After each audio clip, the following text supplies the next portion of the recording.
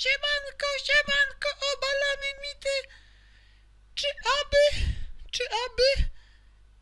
Daj, to chiński sprzedawca jaj? Czy aby na pewno? Upewnijmy się lepiej. Hi, hi, hi, hi, hi. A to przez cecha się pisze. Chiński. Daj. Pasmo.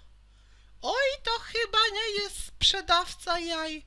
A jeszcze sprawdzimy w japońskim. Czekaj, ta. Da. I. Daj. Rozdział. A więc to nie jest sprzedawca jaj.